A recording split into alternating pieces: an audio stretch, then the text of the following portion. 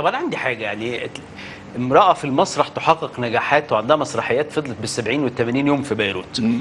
في في الأفلام وكأنها خلقت لتمثل.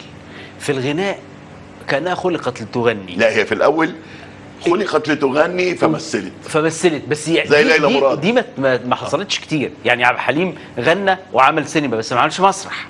عبد الحليم جه في يوم من الأيام قال لك هبطل غنى وامثل بس. آه. كان هاخد صفر. ليه؟ الإنسان ما طبع عليه صباح من صوتها وانت في العربية وانت في مكان عملت بعيد الثلاثه شادي عمل كل هقول لك غلط آه سعاد لذلك هي دايما دايما.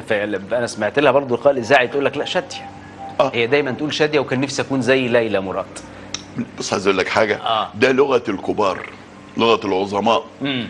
إنما كل واحد بيقرأ جوه نفسه إن هو مملكته دي ولما حد يخش فيها يبقى زائر من أرض غريبة إلى أرضه وهي عندها مملكتها الخاصة. كلهم عندهم مملكتهم كل النجوم بس الجمال اللي فيهم بقى إنه يستضيفك فيحييك فيطفي اللي عليه يطفيه عليك أنت. تواضعه بقى. طب يا عيني عليك. وده يعني إيه كلمة فن؟ يفن يبدع. آه. ومن ضمن الإبداع كيف تتكلم؟ كيف ترتدي ملابسك آه. كيف آه مظهرك انترفيو أي حاجة حط درجات حط درجات تبص كل ما تحط درجات الصوت يعلى يعلى.